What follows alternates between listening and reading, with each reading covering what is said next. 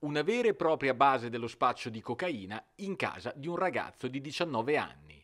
A finire in manette un incensurato di origine albanese che i carabinieri di Coglia al Metauro hanno trovato in possesso di 4 etti di cocaina e 11.500 euro in contanti ritenuti provento di attività di spaccio.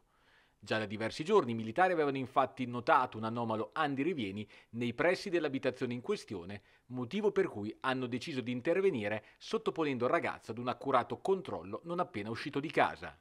Nel corso della perquisizione personale e in macchina, i carabinieri hanno rivenuto un pacchetto di sigarette nel quale erano occultate tre dosi di cocaina termosaldate già pronte per lo spaccio.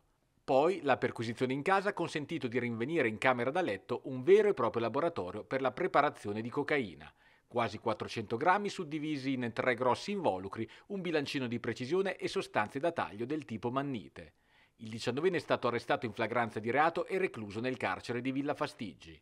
Sono in corso accertamenti per stabilire la provenienza e la destinazione del cospicuo quantitativo di droga sequestrata.